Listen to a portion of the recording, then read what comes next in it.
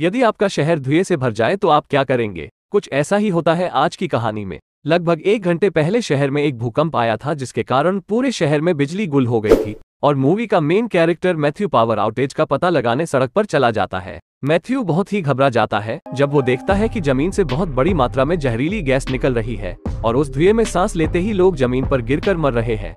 धुंध सड़कों के माध्यम से बेतहाशा फैलती जा रही है और ज़मीन पर सब कुछ निगलती जा रही है। हर कोई अपनी जान बचाने के लिए भाग रहा है। गैस अब घरों में भी घुसने लग गई है।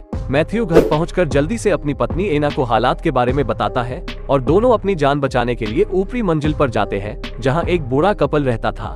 बालकनी में आकर वे देखते हैं कि सड़कें धुएँ से भर गई है और ऊपर रेस्क्यू हेलीकॉप्टर उड़ रहे हैं। मैथ्यू छत पर चढ़ जाता है, जहाँ वो देखता है कि पेरिस का पूरा शहर उस गैस से धका हुआ है। फिर मैथ्यू सीढ़ियों पर जाता है और गैस को छूता है। उसे कुछ भी नहीं होता और गैस से कोई गंध भी नहीं आ रही थी। वे कुछ देर के लिए यहाँ सुरक्षित है, लेकिन उनकी बेटी दूसरी मंजिल पर फंसी हुई है। उनकी बेटी को एक बहुत ही दुर्लभ बीमारी है, जिसके कारण उसे सिर्फ़ साफ़ हवा में सांस लेना पड़ता है।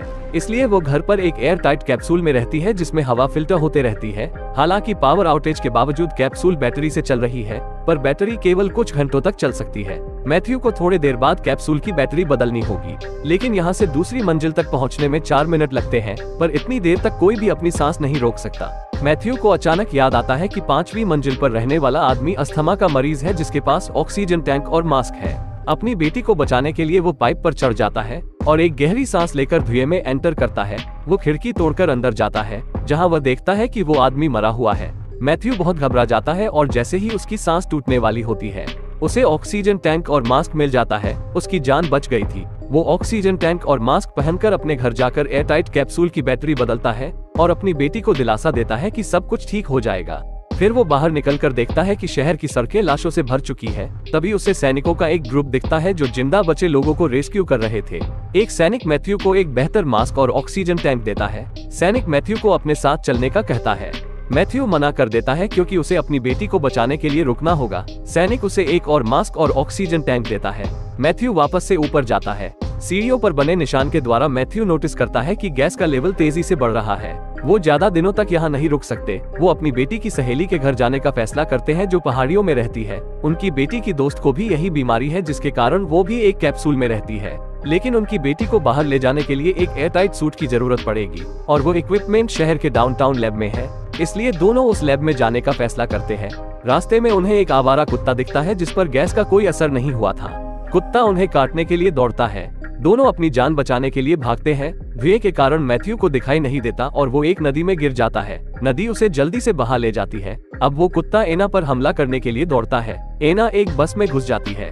लकी कुत्ते का पट्टा एक सूटकेस में फंस जाता है। एना मौका पाकर तुरंत खिड़की से बाहर कूद जाती है। वो मैथ्यू को ढूंढना चाहती है, पर अपनी बेटी को बचाने के लिए वो एयरटाइट सूट की तलाश में निकल जाती है। सौभाग्य से मैथ्यू नदी में नहीं डूबता और जल्दी से नदी से निकल जाता है। कुछ देर बाद वो दोनों लैब के बाहर एक दूसरे से मिलते हैं। कुछ देर ढूँढने के बाद आखिरकार वो सूट उन्हें मिल जाता है।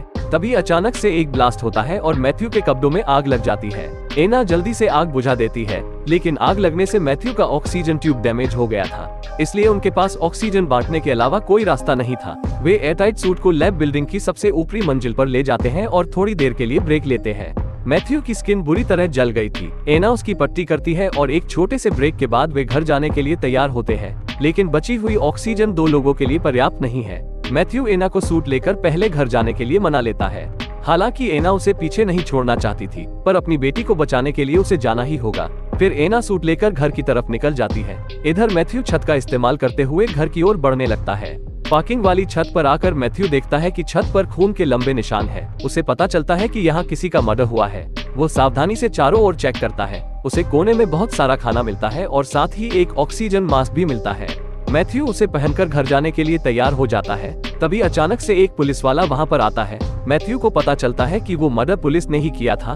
पुलिस वाला उसे ऑक्सीजन टैंक उतारने का कहता है। वो अपनी बंदूक निकाल ही रहा होता है कि तभी मैथ्यू ऑक्सीजन मास्क पहनकर उस पुलिस वाले को लेकर नीचे कूद जाता है और उसका गला दबाने लगता है। मास्क न पहनने के कारण जल्द ही उस पुलिस वाले की मौत हो जाती है। इसी बीच एना भी घर पहुँच जाती है। एना का ऑक्सीजन भी खत्म हो जाता है। एना अपना मास्क उतारती है और अपनी सांस रोककर बॉक्स को सीढ़ियों से खींचकर ऊपर ले आती है। आखिरकार वो सही सलामत धुएँ से बाहर निकलने में कामयाब हो जाती है। जब वो बॉक्स खोलती है तो वो देखती है कि ब्लास्ट के कारण सूट डैमेज हो गया है, और इसके बिना उसकी बेटी के बचने की कोई गुंजाइश नहीं है। इससे भी बुरी बात यह है कि एयरटाइट कैप्सूल की बैटरी फिर से खत्म होने वाली है, और उसे तुरंत अपनी बेटी के लिए बैटरी बदलने के लिए जाना होगा।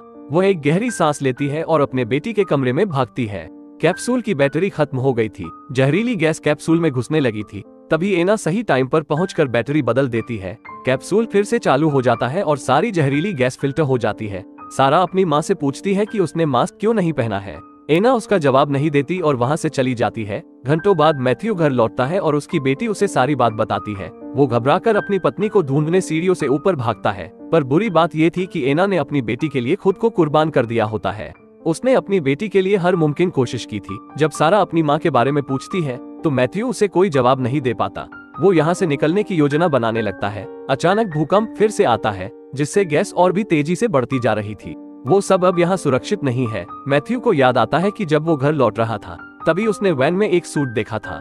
मैथ्यू उस बूढ़े कपल को भी चलने के लिए कहता है, पर बूढ़ा आदमी कहता है कि उन्होंने अपनी ज़िंदगी बहुत अच्छे से गुजारी है।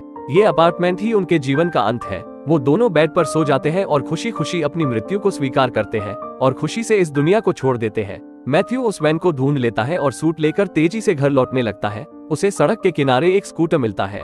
फिर वो स्कूटर पर बैठकर जितनी जल्दी हो सके घर की ओर बढ़ने लगता है। अचानक से एक लड़का उसके स्कूटर के सामने आ जाता है। उसे बचाने के चक्कर में मैथ्यू ज़मीन पर गिर जाता है। जागने के बाद वो देखता है कि उसके सिर पर गहरी चोट लगी है। वो उठने की कोशिश करता है और लंगड़ाते हुए घर की ओर बढ़ने लगता है। लेकिन उसे बहुत दर्द होता है तो उसे आराम करने के लिए एक जगह बैठना पड़ता है।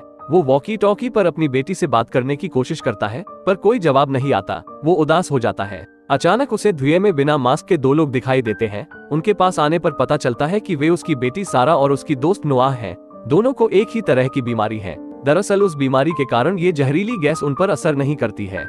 सारा मैथ्यू की तरफ़ दौड़ती है और 12 साल में पहली बार दोनों एक दूसरे को गले लगाते हैं। कहानी के अंत में हम मैथ्यू को सारा के मेडिकल कैप्सूल में पाते हैं और इसको दिखाते हुए कहानी खत्म हो जाती है।